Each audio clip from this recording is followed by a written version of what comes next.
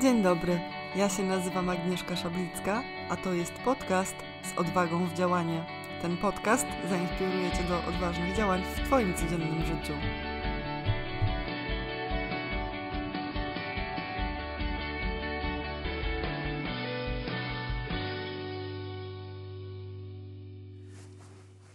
Cześć, ja się nazywam Agnieszka Szablicka, a to jest kolejny odcinek podcastu z odwagą w działanie.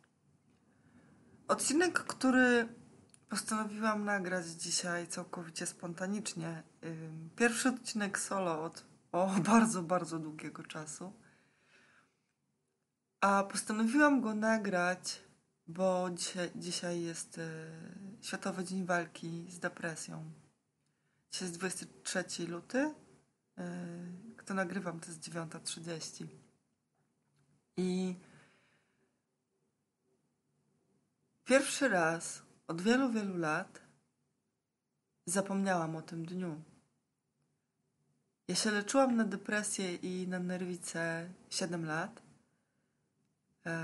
najpierw byłam e, po załamaniu nerwowym, wylądowałam na oddziale dziennym leczenia nerwic i depresji. Później e, byłam w terapii indywidualnej, w międzyczasie brałam leki chyba jest jedyną rzeczą, której w obszarze leczenia się y, do tej pory nie zaliczyłam, był pobyt na zamkniętym oddziale. Wszystko się może zdarzyć jeszcze. I,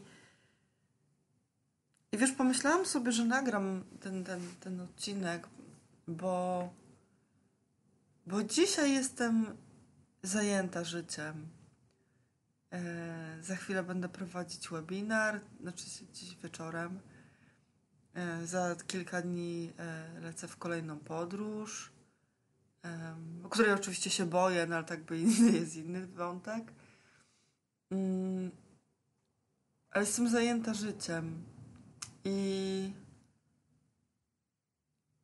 a w 2014 roku, czyli to już będzie zaraz 8 lat, tak, dokładnie 8 lat temu, o tej porze, bardzo nie chciałam żyć. Bardzo nie chciałam żyć.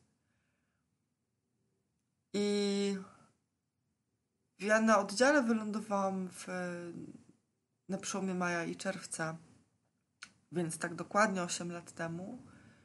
To był już ten moment, kiedy było ze mną bardzo źle. E, ja wiele miesięcy nie spałam. Byłam. Byłam tak naprawdę całkiem pusta w środku. Bo pozornie funkcjonowałam bardzo dobrze. To znaczy, wiesz, chodziłam do pracy Byłam wtedy trenerką wewnętrzną w firmie. jeszcze wtedy byłam w związku e, i, i pozornie to wszystko wyglądało, wiesz, poprawnie. A ja w środku od wielu, wielu, wielu lat byłam po prostu całkowicie pusta w środku i coraz mniej miałam sił na udawanie przed sobą i przed światem, jaka jest prawda. Mm. I to, że miałam załamanie nerwowe i to, że e, wylądowałam na tym oddziale, e, na dziennym oddziale leczenia nerwic i depresji, to mi uratowało życie. I bo byłam chwilę przed, przed tym, byłam w takim momencie, że no, że już no, myślałam o tym, żeby się zabić. I przychodzę dzisiaj do ciebie nie o tym, nie po to, żeby o tym opowiadać, tylko właśnie o tym, żeby opowiedzieć ci, jak jest 8 lat później. E, bo te bo 7 lat byłam w terapii, w zeszłym roku e, skończyłam terapię. Teraz jestem, e, tylko jeżdżę do swojej terapeutki raz na jakiś czas na konsultacje. Natomiast dzisiaj przychodzę Ci powiedzieć, że jest możliwe wyjście z depresji. E, jest to potwornie trudne, może trwać długo. Też dla mnie było potwornie trudne, trwało bardzo długo. Natomiast dzisiaj jedno to jest to, że jak myślę o tym, jak ja funkcjonowałam, wiesz, w te, te, te, te 8 lat temu, to ja już prawie nie pamiętam. To znaczy, jedno, że mam za dużo bodźców i nie pamiętam, ale jest mi sobie ciężko przypomnieć e, dokładne stany, w których byłam. Co pokazuje mi to, czego się też dowiedziałam w trakcie swojej psychoterapii, i też są na to badania naukowe, że psychoterapia zmienia strukturę mózgu, że my po prostu uczymy się funkcjonować kompletnie inaczej i później jesteś w stanie e, po prostu żyć po nowemu. I to jest dokładnie to, co się ze mną wydarzyło, wiesz, że to była strasznie ciężka robota. Ja pierdolę, to była strasznie ciężka praca. Bo przez 7 lat, co dwa tygodnie, e, po prostu przekopywałam wszystkie możliwe shity z własnego życia z własnej przeszłości, z własnej teraźniejszości, z własnych schematów, w których się wychowałam. No po prostu wszystko tam było. E... I, I przyszedł w którymś momencie taki, tak, przyszła taka chwila, że ja poczułam, że moja głowa fizycznie inaczej funkcjonuje, wiesz? Że ona że ona po prostu fizycznie inaczej działa, że tak jakby mi coś przeskoczyło w inną stronę. I oczywiście później znowu popełniałam swoje błędy i dalej robiłam i jakby uczyłam się tego wszystkiego. Natomiast po latach przyszedł taki moment, że ja dzisiaj, wiesz, jestem w kompletnie innym miejscu niż byłam. I i jedno to jest to, że gdyby mi ktoś powiedział, że, że, że, że, że, że to jest w ogóle możliwe, to ja bym chyba nie uwierzyła. I też nie liczę, że ty mi uwierzysz, jeżeli teraz się zmagasz z depresją albo z nerwicą. Natomiast to, co próbuję ci powiedzieć, to to, że nawet jak teraz w to nie wierzysz, e, to idź dalej tą drogą i, e, i po prostu daj sobie pomóc. E, dla mnie kluczowe było to, żeby uwierzyć, że psychoterapeuci, psychiatrzy, po prostu inni ludzie jakby mają moje odpowiedzi. Oni wiedzą, co ja muszę zrobić, żebym przestała siebie krzywdzić, żebym przestała e, siebie wyniszczać, żebym przestała siebie nienawidzieć. I to zadziałało. I ja wiem, że bym tego sama nie wymyśliła. No nie wymyśliłabym tego sama. I Mm. Dzisiaj wiesz co, nagrałam, zaczęłam nagrywać ten podcast tak w ogóle na maksa spontanicznie, bo, bo w ogóle to wiesz, jestem właśnie w przygotowaniach do tego webinaru, który będzie wieczorem do, um, do, do, do, do, do wyjazdu, który już mam pojutrze, na który się na maksa cieszę. Um, obok mnie śpi, śpi pies i w ogóle mam chaos na chacie i to wszystko. I to jest wszystko takie normalne, takie zwyczajne, nie? I, a jednocześnie ja w środku w sobie wiem, że jestem kimś kompletnie, zupełnie, zupełnie innym niż byłam 8 lat temu.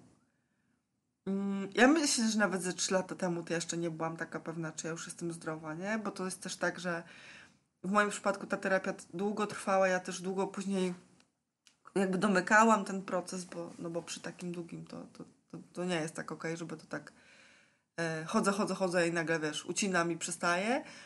E, poza tym ja też jestem osobą wysoko wrażliwą, więc mam, mam w ogóle też tendencję do, do, do, do, do lęków i do różnych, różnych takich rzeczy. Natomiast przyszedł czas, kiedy ja się nauczyłam odróżniać, wiesz, co było moją chorobą, co było depresją, co było moją nerwicą, a co jest na przykład moją wysoką wrażliwością. I opowiadam Ci dzisiaj o tym chyba po to, żeby dać Ci nadzieję. E, że to jest możliwe, że z depresji można wyjść, że nie jest to proste i nie jest to szybka droga. Nie jest to proste, nie jest to szybka droga. E, I bo wiesz, to jest tak, że jak żyłaś, czy żyłeś w jakimś schemacie przez całe swoje życie, przez całe swoje, nie wiem ile masz teraz lat, 20, 30, 40 czy 50 lat, w jakiś w jakimś schemacie podążałaś czy podążałeś codziennie jakąś ścieżką, to ciężko jest, to się tego nie odkręci, wiesz, w trzy miesiące i ostatnio rozmawiałam z kilkoma osobami właśnie, które, które mi mówiły mi o tym, że są w terapii, że to jest takie trudne i te, trochę tak jakby szukały u mnie nadziei.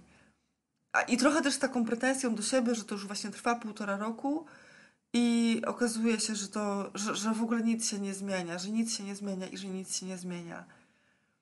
I ja dokładnie pamiętam siebie z tego momentu, kiedy ja byłam półtora roku w terapii i faktycznie nic się nie zmieniało, bo to było po prostu za krótko.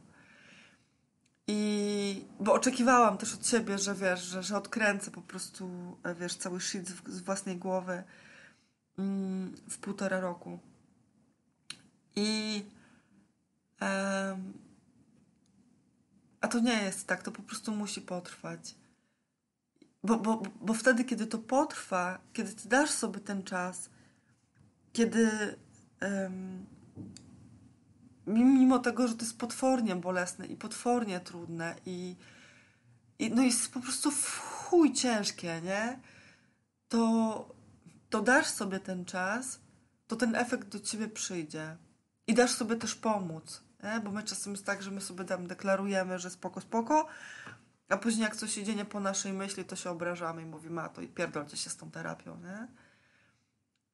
Ja sobie założyłam, jak zaczynałam terapię, że będę się leczyć i będę w terapii tak długo, jak będę, aż, aż poczuję, że przez długi czas, i przez długi czas mam na myśli rok, półtora, będę stała na własnych nogach, mimo przeciwności, mimo trudności, mimo różnych rzeczy, które życie nam funduje, bo wiesz, to też nie jest tak, że ja skończyłam terapię i teraz są tylko koniki i kwiatki i jest po prostu wszystko zajebiście. W 2021 roku dostałam taki wpierdol od życia, że myślałam, że się nie poskładam, że, że się poskładam, właśnie, freudowska pomyłka. Właśnie nie poskładałam się. I okej, okay, dalej chodziłam do mojej terapeutki, ale jak podjęłam decyzję, że kończę terapię, to wydłużałam te czasy między spotkaniami i nie poskładałam się, mimo tego, że mnie czołgało po betonie straszliwie. I, I to był taki moment, gdzie pomyślałam sobie, dobra, to już jest ten moment, to już jest ten czas, kiedy ja stoję na własnych nogach, nie? Że wieje, tak jak teraz wieje w koło brzegu, w którym nagrywam ten podcast. E, ale ja stoję i, e, i to nie oznacza, że będę zawsze stać, nie? Mam też taką, taką, staram się mieć taką pokorę w sobie, że mam taką konstrukcję psychiczną, taką, taką osobowość, taki charakter, że y, nigdy nie wiadomo, nie? Jakby staram się być uważna na siebie.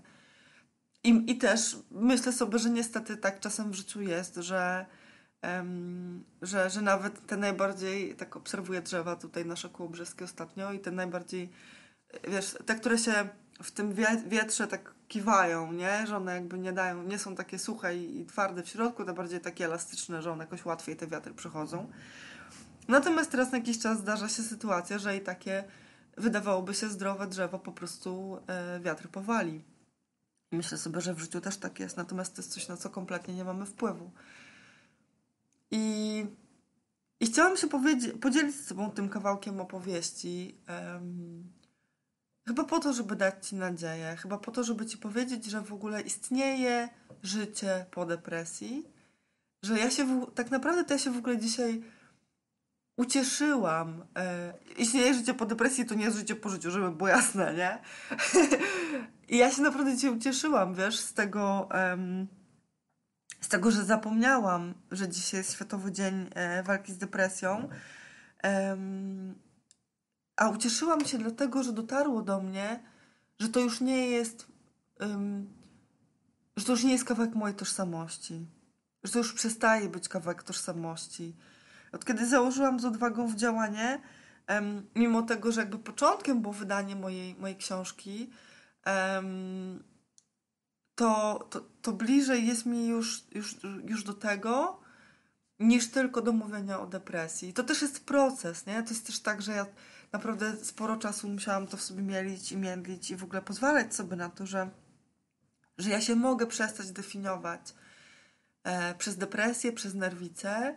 To nie oznacza, że ja zapominam o tym, skąd ja przyszłam, bo, bo ja to będę zawsze pamiętać i, um, i, i, i mam w sobie ten, jakby naprawdę mam, są takie momenty, które myślę, że do, do śmierci będę pamiętać, nie?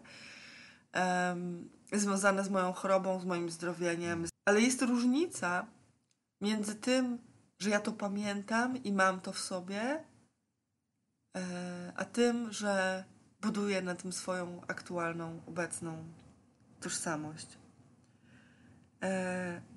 Chyba jeszcze się nigdy nie zdarzyło, żebym się na 15 minut rozgadała na solo. Mm, co też jest spoko. E, I na koniec chcę Ci powiedzieć, że tego Ci właśnie życzę.